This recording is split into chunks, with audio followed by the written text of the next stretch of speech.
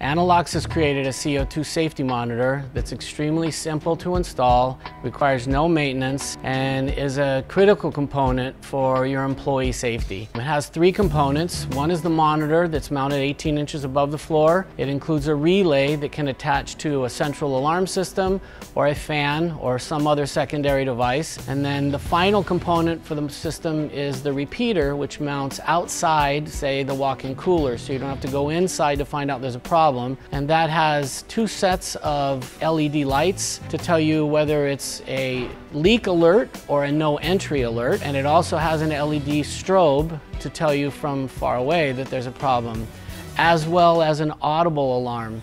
So there's a lot of redundant components in it so that you make sure that there's never going to be a surprise. We can incorporate a splash guard so if it's in an environment that's extremely hostile, like a brewery, um, you don't want to get water directly into the, into the sensor, so we, you can incorporate this very inexpensive way to protect it. This is the bracket that we've designed to protect the monitor itself from getting banged by any other components. We started carrying the Analox CO2 safety monitor because we realized there was an extreme danger in walk-in coolers.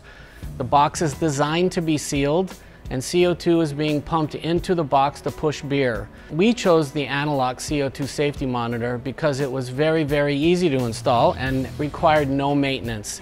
The sensor actually has a 15-year warranty, so once it's installed, it's something you don't have to think about, you just get to relax and know that you've now protected your, your employees.